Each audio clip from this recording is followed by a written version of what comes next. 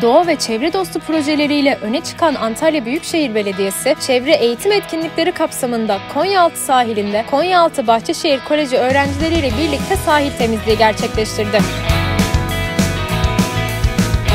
Yılda ortalama 22 milyon turistin ziyaret ettiği ilimiz, Türkiye'de turizm başkenti olup bu ününü temiz denizine ve doğasına borçludur. Çevre eğitim etkinliklerinde yalnız bilgi vermek ve sorumluluk hissi oluşturmakla da kalmadı.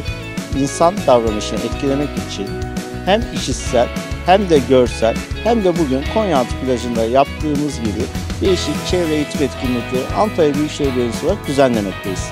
Etkinliğin amacı sadece farkındalık yaratmak değil, aynı zamanda somut eyleme geçerek plajlarımızı temiz tutmaktır.